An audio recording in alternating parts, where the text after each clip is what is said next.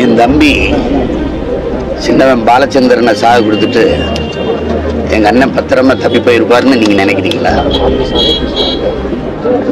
சொல்லுங்க. எந்த சூழ்நிலையும் நான் இந்த நாட்டை விட்டு போக மாட்டேன்னு வீரமா நின்று சண்டை செஞ்சவர் எங்க அண்ணன்.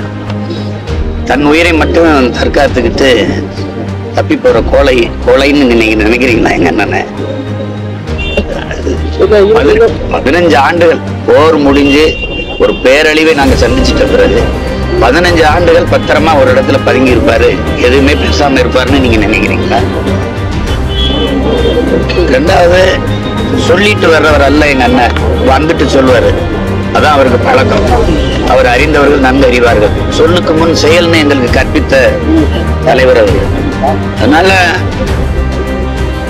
தேவையற்று போட்டு குழப்பிட்டு இருக்க வேண்டியதில்லை சரி அவங்களே சொல்றாங்க ஒரு நாள் மக்களுக்கு முன்னாடி தோன்றுவார்.